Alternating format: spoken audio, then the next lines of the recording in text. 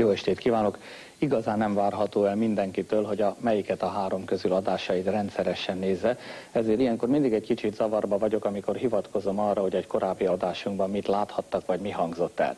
Ennek ellenére kénytelen vagyok ezt megtenni, mert nagyon sokan írtak levelet. Talán emlékeznek rá, hogy két héttel korábban előfordult három olyan szó, amely a félmúlt vagy a közelmúlt régi használati tárgyait idézte fel, ilyen volt a mángorló, a sarogja és a petrence. Én akkor az adásban ehhez néhány szavas magyarázatot fűztem, és most nagyon szépen köszönöm mindazoknak, akik ezt hosszú-hosszú levélben kiegészítették, és pontos leírásokkal, esetleg rajzokkal is segítettek felidézni, hogy valójában milyen is volt a mángorló, mire használták a petrencét, és mennyi fért be egy szekér hátoldalán az elhelyezett sarogjában. Köszönöm szépen. A mai játékban ilyen régi szavak talán nem lesznek, de ígérem, hogy érdekes fotók, rendkívül izgalmas filmrészletek, és talán néhány érdekes kérdés is lesz. Hogy a játékot elkezdjük, engedjék meg, hogy bemutassam a játékot.